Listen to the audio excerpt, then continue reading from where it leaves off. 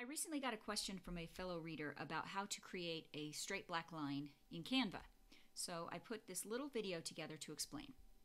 So I'm going to change out the pink line in this particular graphic to show you how to add a line. I'm going to go ahead and delete this one. And we're going to start with the very first line that comes up in the elements.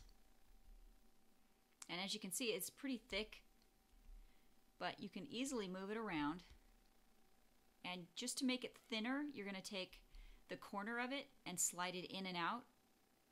And then if you want to make it longer, you're going to take the middle circle and pull that as long as you want it to be. If it's still not thin enough, just keep moving the corner circle in until you get to where the thickness is that you need. Sometimes you need to zoom in on the project to get to these little circles. But there you have it. A straight black line, although mine is pink. If you have any other questions, let me know in the comments below.